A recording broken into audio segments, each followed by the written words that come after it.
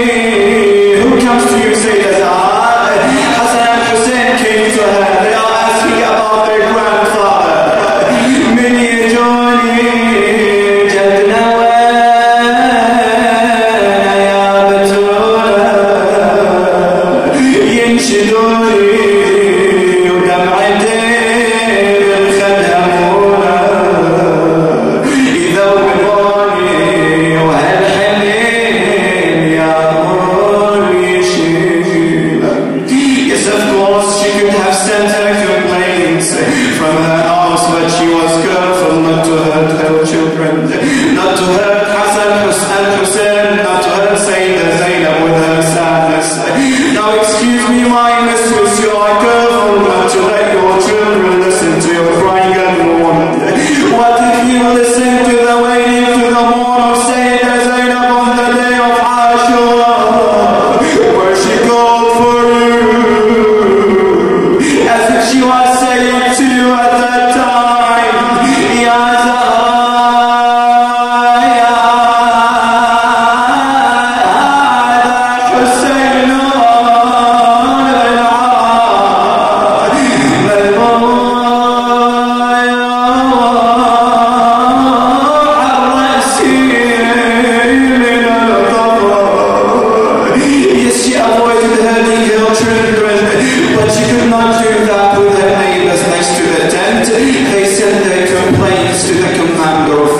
أمير المؤمنين علي بن أبي Talib, who knew that the time for joining her father was inevitable, so she came to her in one of the nights, listened to her final words, saying to him,